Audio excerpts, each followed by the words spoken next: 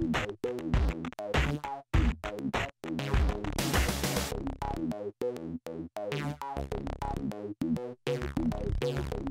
Hey everybody and welcome back to another episode of 7 Minute AE Tutorials where you learn AE tips, tricks, and shortcuts in less than 7 minutes. No BS, just AE. In this episode, I'll show you how to use a few simple expressions that will really speed up your animation time. These expressions are very simple, but be aware that there are some very complicated expressions out there, and I highly recommend you checking those out. Okay, let's get started. Okay, so today I wanted to show you a few expressions that are very easy to remember and very easy to implement. If you're more advanced, you may have seen these before, but just in case, I'm going to go over a handful of expressions and hopefully this will help you out. Okay, so here I have this vector image that I've converted to a shape layer. What I want to show you here is called the wiggle expression. And this is a very, very common one, and I'm sure a lot of you have seen this before. But let's hit R for rotation. And if you Alt click on this stopwatch, as you can see, it already makes your transform property red, which means that it's ready for you to type in an expression. So let's type in wiggle and then you want to do an open parenthesis, and then there are going to be two numbers. The first number is the speed, the second number is the amount, and these two numbers are going to be separated by a comma with no spaces. Say, for example, we do 1, comma 5. Something that's very important to remember whenever you do these expressions, particularly that involve rotation, you want to be mindful of where your anchor point is, and see our anchor point is right here. So let's uh, hit 0.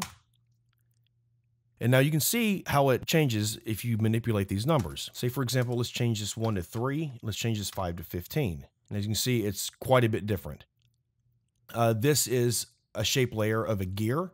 And basically what I want to do is I want it to rotate. You can either keyframe this, you know, you could put a keyframe here and then go forward. The problem is that once it gets to the second keyframe, it's going to stop. So if you know that you want this gear to move indefinitely, what you want to do is use the time expression. Holding down Alt, click on the stopwatch next to rotation, and you want to type in time and then the multiplication sign or asterisk and then your number. So say let's put in 50 and there we can see it moving. So now, say you wanted it to go in the opposite direction, just put a minus in front of the 50, and it will turn in the opposite direction. Let's change this to 150.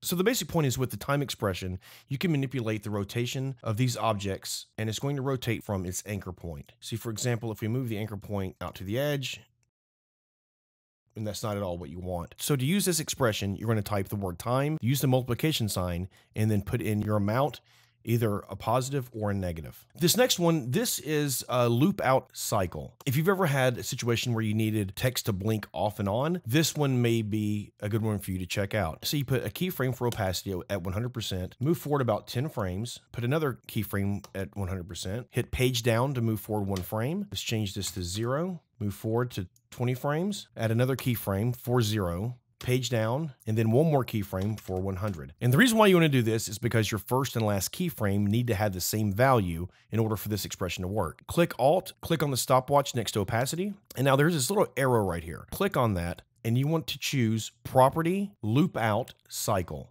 And what this basically does is it takes whatever's between the first and last keyframe and it repeats it. So see, we only have five keyframes, yet it continues to repeat. And now you can change the duration between these keyframes and it will automatically update. So say we move this over like that, something faster, something slower.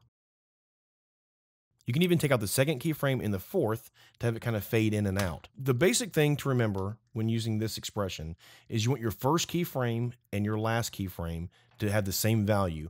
And you're going to have, generally speaking, an odd number of keyframes. Now, this can be used for position and for rotation. If you set a keyframe first, say at 0%, move forward, say about 15 frames, change this to 5, go up to 1 second, and change this back to 0. And we'll apply the same expression to rotation that we did for opacity. So property, loop out, cycle.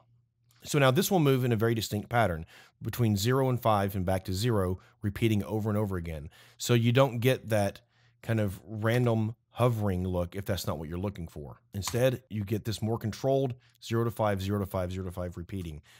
Hit P for position, put a keyframe here, go forward about 15. So we move it down, go back to a second, and you can even copy and paste this first keyframe. So if we hit Alt and click the stopwatch, click this arrow, property, loop out cycle, it's the same concept. So see, we only have these three keyframes here, but this will continue to move indefinitely. Now this expression could be very, very helpful if you have, say, an animation where you need someone to wave or you have a character that's jumping up and down, something like that. Instead of having to keyframe that over and over and over and over again, you can just use this expression and have very few keyframes and get the same effect.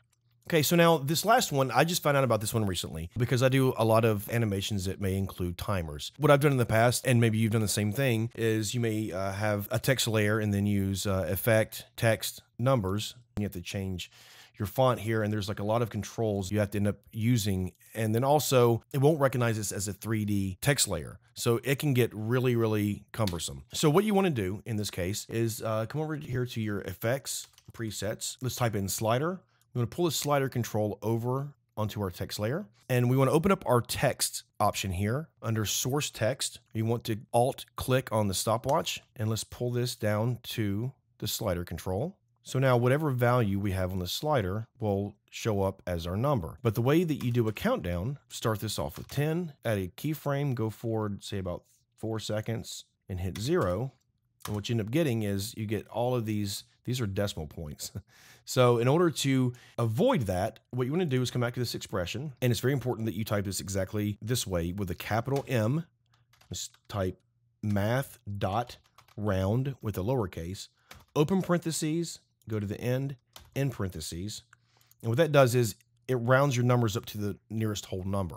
So now we have our countdown. Expressions and scripts are a huge time saver. These few expressions I showed you today are just the tip of the very large iceberg that is After Effects. So there will be more tutorials like this in the future. I hope this helped you out. Please subscribe, like, share, and comment. Let me know in the comments below if there's anything you'd like to see. Thanks everybody, see you next time.